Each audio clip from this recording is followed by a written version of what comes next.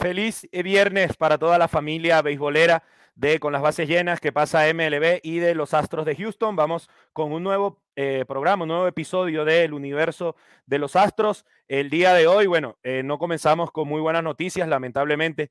Eh, vamos a estar conversando acerca de la lesión de José Altuve, cómo se siente en este momento, cómo la ha pasado en esta temporada tan complicada que tiene el venezolano, en que ha tenido ya que estar en la lista de lesionados en dos ocasiones. Hoy estamos nuevamente con Dayana Villalobos Dimares. Vaya, ¿cómo estás?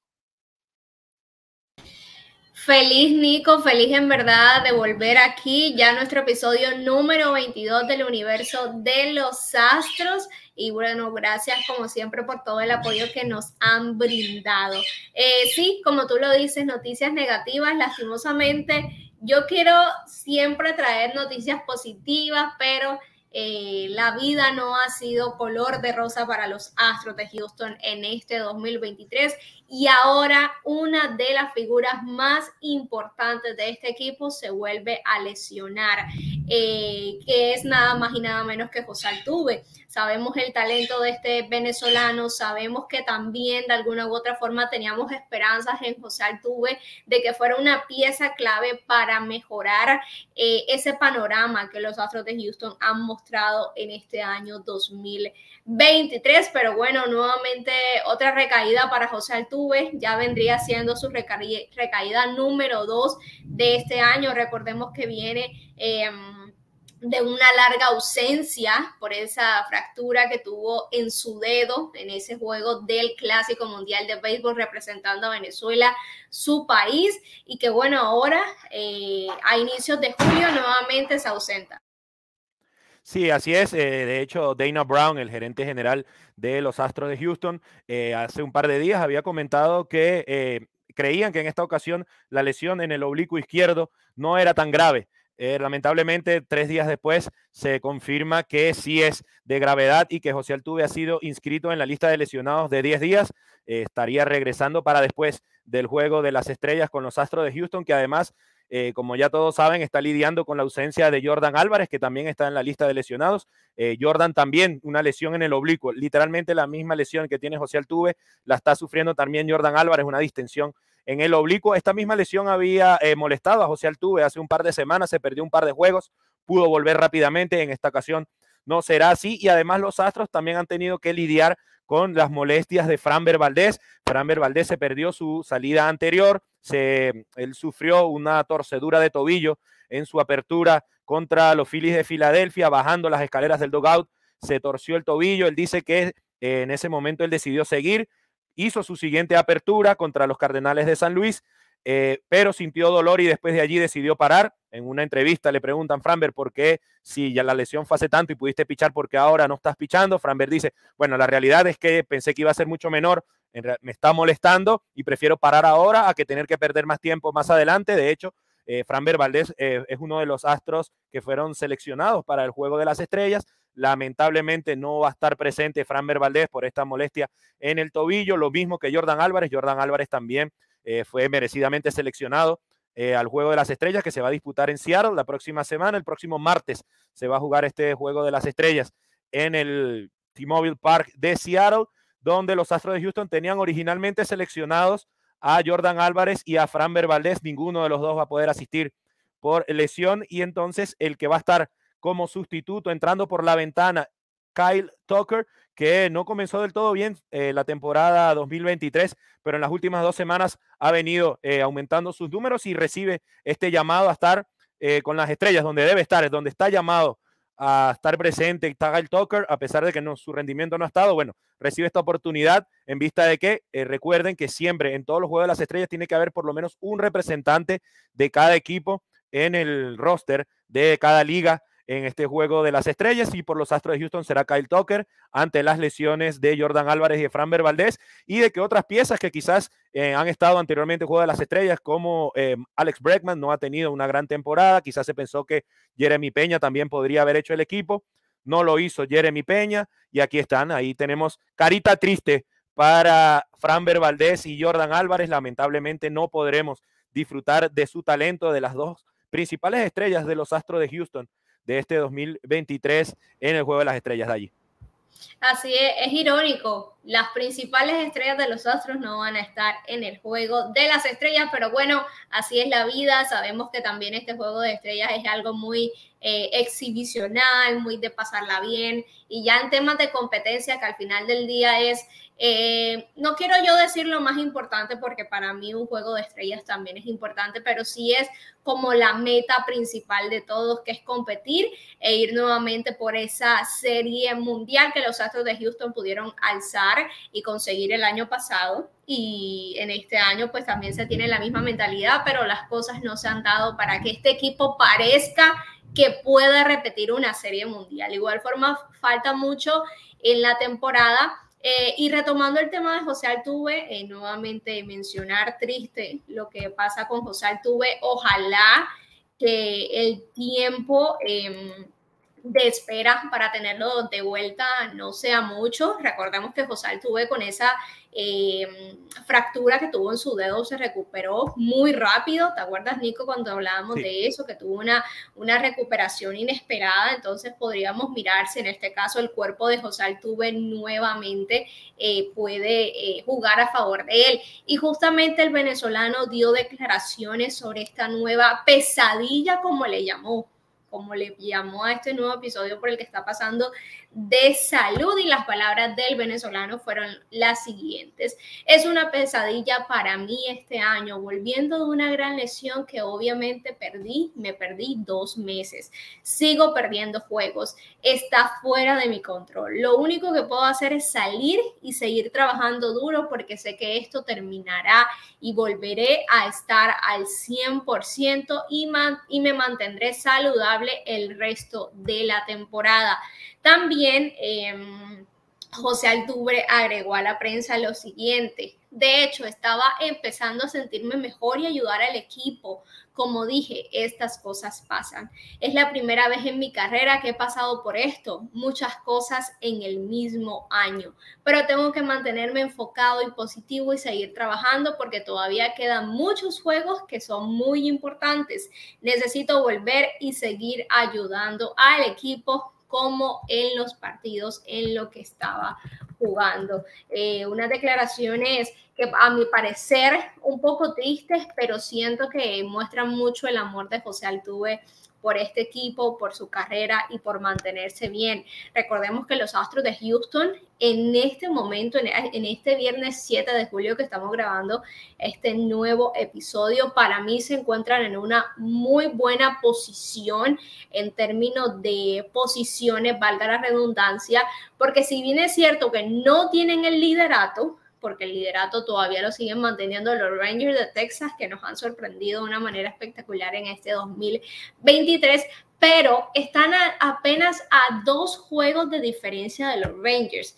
Normalmente, o, o lo que hemos visto en este año es que no solamente los Astros de Houston estaban en segundo y tercer lugar o hasta cuarto, no creo que llegamos a verlo, sino la cantidad de juegos de diferencia que tenían del líder.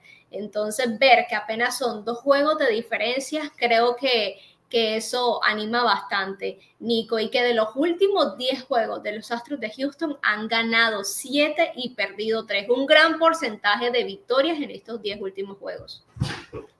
Sí, sin dudas, eh, que para todo lo que le ha pasado a los Astros, todos los inconvenientes que se han presentado, eh, la posición en la que se encuentran en este momento, a justo a la mitad de la temporada, yo creo que es envidiable. Yo creo que si a cualquier eh, hombre de, de, la oficina de los Astros de Houston, Dana Brown, al mismo dueño Jim Crane, al mismo Dusty Baker, si le dicen, mira, tú vas a llegar a la mitad de la temporada sin José Urquidi, sin Luis García, sin Las McCullers Jr., con José Altuve jugando muy poco, con Jordan Álvarez también con dos eh, pasadas por la eh, lista de lesionados, Alex Bregman sin producir, Jeremy Peña sin producir. Si tú vas a llegar a la mitad de la temporada solo dos juegos de líder, yo creo que lo hubiesen firmado desde un primer momento sin dudarlo. Eh, yo creo que los Astros de Houston aún hemos visto la mejor versión de este equipo y, y, aún así se mantienen a dos juegos del primer lugar. Yo creo que cuando este equipo llegue a estar completo. Esperemos que sea así, esperemos que en algún momento pueda estar esta alineación completa con Jordan Álvarez, con José Altuve, con Michael Brantley, que tampoco ha podido estar en toda la temporada. Yo creo que le cambiaría la cara por completo a este equipo, además de los movimientos que sí o sí tiene que hacer eh, Dana Brown en el mercado de cambios. Este equipo tiene que salir al mercado a buscar material mínimo tienen que ir por un lanzador abridor, un relevista y un bateador, mínimo, por lo mínimo. Y hay otros que aseguran que tienen que ser dos abridores. Recordemos que la rotación de abridores de los Astros de Houston está sumamente mermada por las lesiones. Mencionamos fuera por el resto de la temporada Lance McCullers Jr., fuera por el resto de la temporada Luis García. No se sabe cuándo volverá José Urquí, dice que se está acercando a su eh, asignación de rehabilitación en ligas menores, pero bueno, sabemos que los problemas en el hombro siempre hay que llevarlos poco a poco y eso es lo que está sufriendo José Urquí. Él está en la lista de lesionados por una inflamación en su hombro derecho y a ciencia cierta no sabemos cuándo se podría reincorporar. Han estado sacando la cara por los astros de Houston, los jóvenes, JP France. Nadie tenía en los papeles a JP France para este año.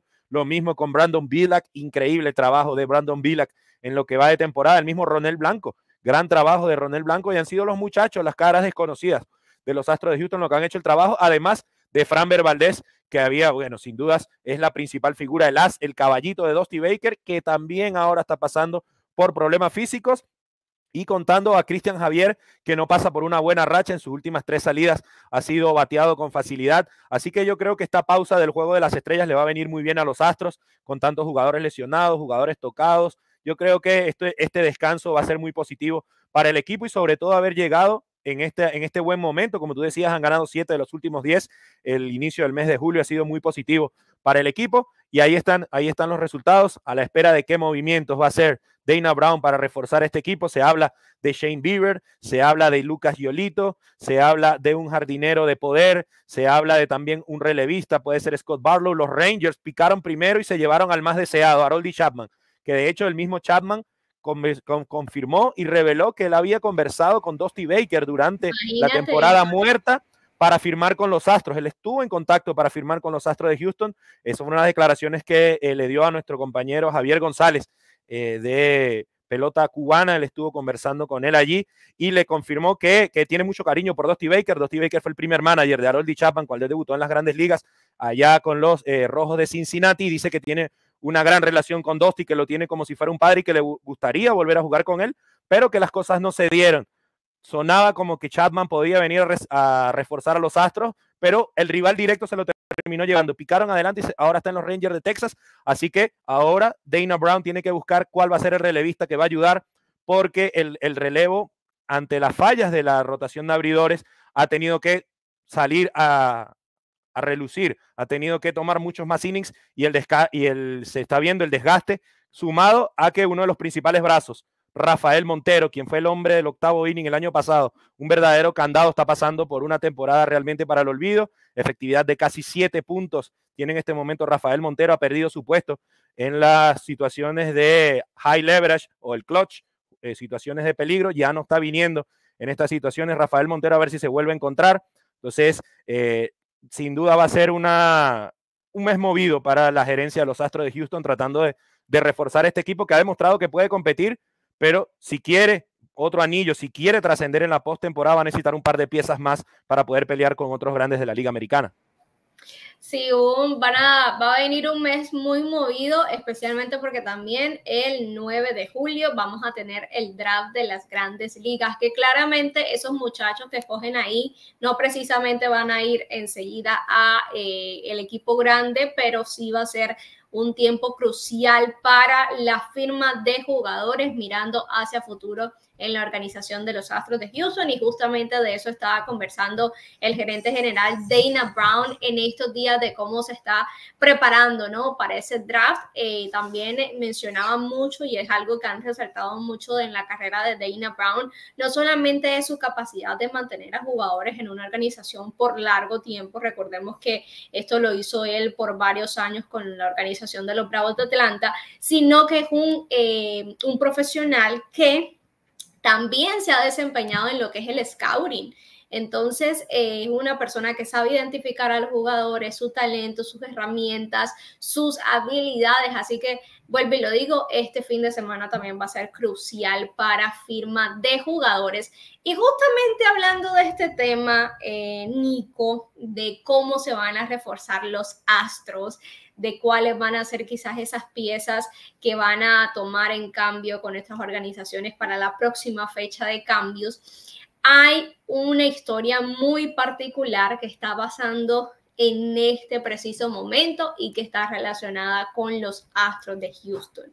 ¿Por qué? Porque los Astros de Houston en este año eh, firmaron eh, por un contrato de liga menor a John Singleton, que en su momento eh, tuvo problemas en ligas menores eh, por consumo de sustancias que están prohibidas en las reglas pues, de la MLB. John Singleton eh, tuvo una carrera muy turbia en ese sentido. Eh, también tuvo una corta participación en juegos de grandes ligas, precisamente en dos temporadas fue con los Astros de Houston. Un jugador que ya tiene historial con los Astros, pero que por ese mismo problema de consumo de sustancias ilegales eh, y prohibidas en la MLB fue retirado pues del sistema de las grandes ligas de béisbol. Ahora,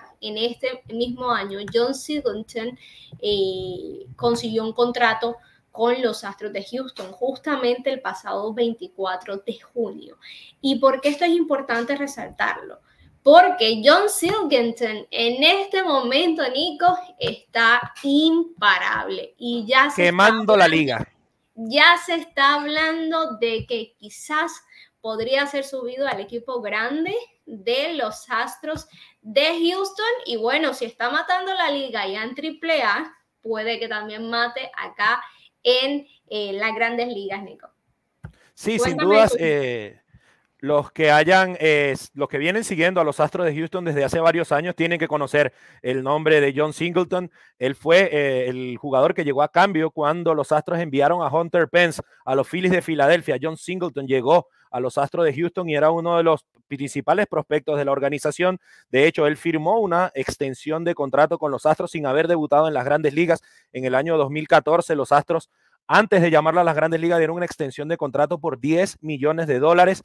Eh, primera vez que un jugador firmaba un contrato tan alto sin haber ni siquiera tomado un turno en las grandes ligas. Para ese entonces, John Singleton nunca se pudo encontrar, nunca pudo batear. Durante eh, su estadía en las ligas menores tuvo eh, dos suspensiones por este uso de sustancias recreativas que están prohibidas. Hay que destacar que no fue por temas de dopaje, sino por adicción a sustancias recreativas, el tema de John Singleton. Entonces, él quedó borrado del béisbol en el 2018, recibió su tercera suspensión por este tema y fueron 100 juegos que recibió John Singleton por haber dado positivo. Entonces los Astros en ese momento ya dijeron, bueno, ya venimos cuatro años eh, luchando con este caso, las veces que estuvo en grandes ligas tampoco pudo rendir, decidieron dejarlo libre y comerse el resto del contrato, como ha pasado eh, con otros peloteros en el pasado y es un contrato de esos que siempre se ha hablado. Bueno, los Astros perdieron 10 millones de dólares con John Singleton, pero aquí la vida le ha dado una segunda oportunidad a este señor que hizo carrera en el béisbol de México, John Singleton, un bateador de poder. Eh, para los que no lo conocen, un bateador muy grande, corpulento, zurdo, de poder, jonronero, que en este momento, en el 2022, eh, volvió al béisbol organizado, los eh, Milwaukee Brewers le dieron un contrato de ligas menores, hizo buen trabajo en las ligas menores, tanto así que en el 2023 se tomó un cafecito en las grandes ligas. John Singleton jugó con los Brewers este año, tampoco rindió del todo, eh, dejando otra vez un promedio por debajo de los 200 puntos. Tuvo 11 juegos con los Milwaukee Brewers y batió solo para 103, conectando tan solo un extra base que fue un doble. Sin embargo, los Astros al ver a Singleton libre en buenas condiciones físicas. Decidieron darle una segunda oportunidad también a un contrato de ligas menores y lo que ha mostrado en sus primeros encuentros es realmente prometedor. En tan solo 33 turnos al bate ya tiene un promedio de 394, un OVP de 512 para un OPS de 1330, con cuatro cuadrangulares y 12 carreras remolcadas, eh, números que hacen pensar que Singleton podría ayudar a los Astros de Houston y sobre todo en este momento que hay tanta sequía ofensiva y que hay tantos jugadores ausentes. Recordemos que en este momento los Astros tienen un novato como Gray Kessinger, que recién subió a las grandes ligas tomando eh, buena cantidad de turnos. Lo mismo está pasando con Blake Madris, otro jugador que podría ser de la misma, del mismo perfil que Singleton. Eh, Blake Madris puede jugar en la primera base y también puede jugar en los jardines.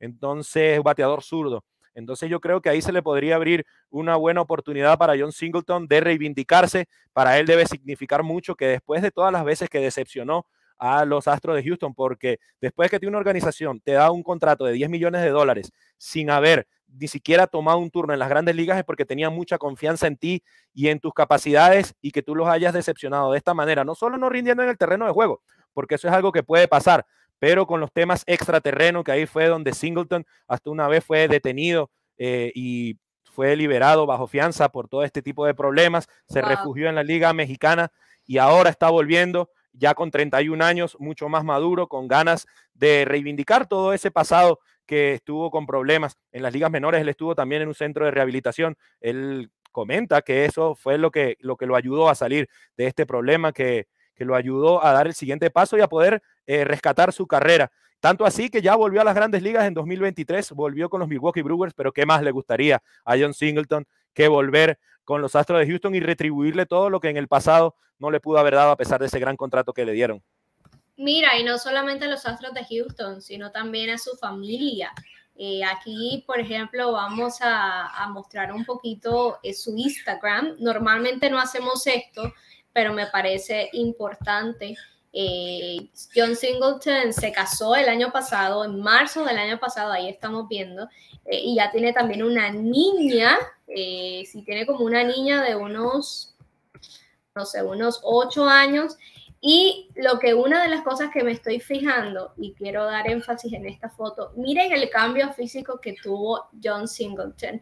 No sabemos exactamente en qué año eh, él estuvo, eh, como vemos en la foto de la izquierda, pero miren ese cambio físico, lo que nos pueda decir a nosotros que este hombre ha madurado, ha cambiado su mentalidad y quizás ahora está más enfocado en lo importante que es el béisbol y de esto pues se van a beneficiar en este momento los Astros de Houston. Así que muy positiva esta noticia. Vamos a seguir dándole seguimiento. A ustedes los invitamos como siempre a que revisen nuestra página web www.conbasesllenas.com porque todos los días estamos hablando de qué es lo que pasa con los Astros de Houston y a esta noticia en particular o historia en particular le vamos a dar especial seguimiento, Nico. Y con esto ya llegamos casi al final de nuestro programa, pero antes queremos compartir con ustedes los candidatos que nosotros escogimos para que vayan al basurero en este eh, nuevo episodio. Ahí estamos escuchando también los efectos especiales. La previa. Efectos, especiales del basurero. Efectos especiales naturales y que yo misma controlo con la mano. para mostrar a los candidatos del basurero en este episodio número 22. El primer candidato es lastimosamente la lesión de José Altuve que está fuera de su control, pero es algo negativo que a todos los fanáticos de los Astros no les hubiese gustado ver en esta última semana. Segundo candidato, Rafael Montero nuevamente. Tenemos que hablar de él porque desde que firmó ese contrato de más de 30 millones de dólares no ha podido rendir con los Astros de Houston y es una gran sorpresa porque sabemos lo que hizo Rafael Montero en el año 2022. Y tercer candidato, la poca participación de los Astros en el All-Star Game. De esto estuvimos hablando en nuestro episodio anterior, de que a pesar de que los Astros son los actuales campeones de la Serie Mundial y es un equipo con tantas estrellas, con tanto renombre en este momento y con tanta popularidad, solo eh, pudieron llevar a un solo jugador, eh, que es Kyle Tucker, eh, que también lo seleccionan en parte por el tema de, llevar a un representante de cada equipo. Sí, y entró por ah, lesión, como, como sustituto de lesión. No fue, originalmente Kyle Tucker no había sido seleccionado. Exacto. Quienes habían sido seleccionados era Jordan y, eh, Es que por lesión tampoco van a poder participar. Así que estos son los tres candidatos. Cuéntanos en los comentarios cuál de esos tres usted dice. No, definitivamente esto me quitó la sonrisa de la cara y quiero que se vaya para el basurero hoy mismo, Nico. Sí, así es. Ahí tienen estos tres candidatos. José Altuve lesionado nuevamente Rafael Montero con una temporada para el olvido después de ese contrato de 34.5 millones. Y esta tercera eh, opción, la poca representación de los Astros de Houston en el All-Star Game, que eh, prácticamente relata lo que ha sido la temporada de los Astros en el 2023, una temporada en la que ha sido trabajo en equipo, todo el mundo aportando su granito de arena. Eh, trabajo de hormiguita, como le dicen por allí, porque no ha habido una gran figura. José Altuve no ha estado, Jordan Álvarez tampoco ha estado al, 100% toda la temporada. Framber Valdés sí estuvo toda la temporada. Eh, recién fue que se perdió su primera salida, pero también ahora se pierde el juego de las estrellas. Kyle Tucker ha revivido realmente. Kyle Tucker, después de un comienzo incierto en los últimos 22 juegos, Kyle Tucker tiene un promedio al bate de 361, un slugging de 615 ha conectado seis dobles, cinco honrones y tiene 17 carreras remolcadas, en parte por este cierre de primera mitad es que Kyle Tucker recibe también el llamado para representar a los Astros de Houston en el juego de las estrellas, así que ya tienen, voten por cuál es su opción favorita para mandarlo al basurero de una vez y olvidarnos de ello, para que después del juego de las estrellas, para que en el próximo episodio no sepamos más de ello, para que Rafael Montero vuelva a ser el dominante de siempre para que José Altuve esté al 100% y que todas las estrellas de los Astros de Houston vuelvan al terreno de juego. Recuerden, déjenos sus comentarios, su like, suscríbanse que esto nos ayudará a nosotros a seguir llegando a más fanáticos de los Astros de Houston para que todos los fines de semana tengan un nuevo episodio del universo de los Astros con todas las novedades de los actuales campeones de la Serie Mundial que a pesar de tantas tantos inconvenientes que se han presentado en este 2023, siguen en la lucha y hay mucha gente que dice, ojo con los Astros de Houston, ojo con los Astros de Houston, que miren lo que han hecho sin sus figuras, los muchachos jóvenes, los desconocidos, miren hasta dónde lo han traído, imagínense de lo que puede ser capaz este equipo cuando regresen sus estrellas y si además la gerencia trae los nombres que están sonando, porque están sonando nombres buenos, nombres grandes para los Astros de Houston. Así que hay que estar muy atentos. Se dice, se habla de una posibilidad de que de Luis Robert, del mismo Alex Verdugo, varios nombres importantes que podrían llegar a, reforzar la alineación de los Astros de Houston. Vamos a ver al final quién va a ser el elegido y por quién van a apostar. En, desde la gerencia, eh, Dana Brown dijo que no piensan entregar prospectos importantes por peloteros de renta. Pero a peloteros de renta se refiere a peloteros que ya solamente les queda un año de contrato y que si llegan a los Astros vía cambio solo lo tendrían hasta el final de esta temporada. Dana Brown no quiere vaciar sus granjas por, por, un pelotero de renta. Entonces vamos a ver al final qué es lo que va a terminar haciendo eh, el equipo de los Astros de Houston, porque también hay que tener en cuenta que los peloteros que no son de renta, que están bajo control, son más costosos. Entonces tendría que entregar más talento en las eh, ligas menores. Por suerte los Astros tienen buen talento, hay buena cantidad de prospectos que podrían ser negociados para terminar de reforzar este equipo y apostar fuerte por el bicampeonato, que es algo que no se ve desde hace muchos años en MLB. Yo me pregunto, ¿qué jugador podría ser negociado en los Astros de Houston para esta fecha que viene? Bueno, de hecho, eh, hay tres eh, jugadores de grandes ligas que están disponibles para cambios. Es una noticia que se conoció de boca de Dana Brown, Chas McCormick, Jake Myers y Cody Jokes. Son tres nombres que podrían ser negociados, obviamente sumándose en un paquete de prospectos para ser cambiados en otro equipo, para que el equipo que entregue a un jardinero no solo eh, reciba prospectos, sino además también tenga un jardinero que esté listo para jugar en las grandes ligas. Estos tres nombres podrían ser eh, negociados. Obviamente el que tiene más valor es Chas McCormick. Él ha demostrado que ya está listo para ser titular en las grandes ligas. Sin embargo, no, no ha terminado de recibir el 100% de la titularidad en el jardín central. No sabemos por qué. Esto ha sido una decisión eh, mera de Dusty Baker. Ha seguido eh, turnándolo con Jake Myers, a pesar de que los números de McCormick ofensivamente son superiores. Myers es mejor defensor, eso sí, pero tampoco es que la diferencia entre uno y otro es tanta como para tener un bate de 800, más de 800 de OPS. Tiene en este momento Chas McCormick para tenerlo en el banco. Tan solo ha jugado 46 encuentros esta temporada Chas McCormick, casi eh, un poco menos de la mitad un poco más de la mitad, mejor dicho, de lo que ha jugado los Astros de Houston. Así que hay que ver qué pasa, qué, puede, um, qué podrán adquirir los Astros en el mercado de cambio. Lo que sí es necesario es que tienen que llegar piezas, de eso no tengo ninguna duda. Un abridor de primer nivel, quizás un cuarto o quinto en la rotación también podría ayudar. Un relevista y este bateador de poder que Dana Brown dijo que preferiblemente quisieran que fuera un bateador zurdo y que además pudiera jugar en varias posiciones. Obviamente esto no es fácil, este tipo de jugadores no abundan en el mercado, así que no va a ser una tarea fácil para Dana Brown, así que vamos a ver con qué sale el gerente general de los Astros de Houston. Recordemos que hasta final de mes tienen oportunidad para realizar los cambios en las grandes ligas. La fecha límite para hacer transacciones directas en MLB.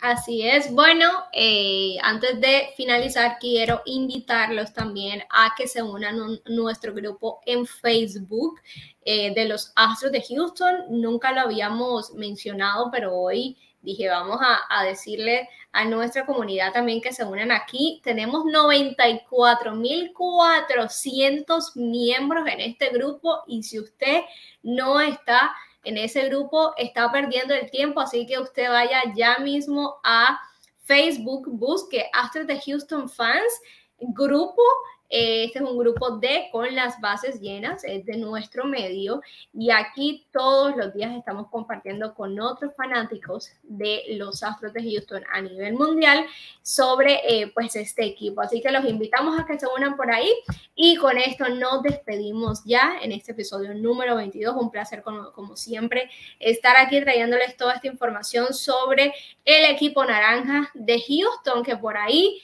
yo creo que tienen a los Rangers de Texas como sus enemigos en este momento. Estos Rangers están, pero mostrando un nivel de competencia increíble. Así que vamos a ver cómo... Sí, tan duros, tan duros los vecinos, los vecinos están... Han sido un gran obstáculo también para los Astros, pero vamos a ver si los Astros pueden eh, sobreponerse a estos Rangers de Texas que en este momento tienen el liderato, Nico. Así es, sí. Eh, como decía, los, han estado duros los, los rivales, los vecinos. Recordemos que eh, Houston, eh, también perteneciente al estado de Texas, ahí están juntos los dos. Así que va a estar, va a estar dura la, carrera por el banderín divisional, pero esto también le va a ayudar a los Astros quizás a llegar en mejor envión para la postemporada, después de varios años teniendo la división prácticamente cómoda, sin rivales. Ahora les toca fajarse con los Rangers y demostrar de qué están hechos. Y, y es así, si quieren ganar el bicampeonato, van a tener que fajarse y ahí llega el momento con los Rangers que están haciendo fuerza y no olvidarse de los Angels, que si es verdad que han venido cayendo, estuvieron eh, peleando bastante, pero han venido cayendo, ahora se les lesiona Mike Trout, entonces yo creo que los Astros tienen que enfocarse directamente en la competencia con los Rangers de Texas, que ya demostraron también que van con todo. Mencionamos ya anteriormente que la firma de Harold Chapman demuestra que ellos van por, por todo esta temporada. Bueno, dichadito, Nico. No te despediste de nuestra gente. Sí, no, es verdad, eh, razón. Muchas gracias por habernos acompañado en este episodio número 22 de El Universo de los Astros. Nos vemos el próximo viernes y que tengan un buen fin de semana. Disfruten del Juego de las Estrellas, el Derby de Jonrones, que esto es para ustedes, todos los fanáticos. Bye.